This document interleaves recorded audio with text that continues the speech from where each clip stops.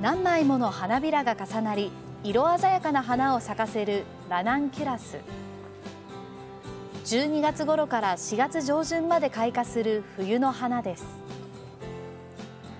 会津若松市北会津町で40年以上花を栽培している鈴木俊恵さんは冬にも出荷できる花を手掛けたいとおよそ10年前からラナンキュラスを育てています。暖冬なので、まあ、いつもの年よりはだいたい1ヶ月ぐらいは、えー、前倒しで早まってるかなというふうに思ってます。なかなか気温が下がらない時は遮光やこまめな換気を行い対策をしてきたため色づきや大きさは例年通りだということです。2年前からは孫の優さんも手伝うようになり2人で丁寧な管理を続けてきました。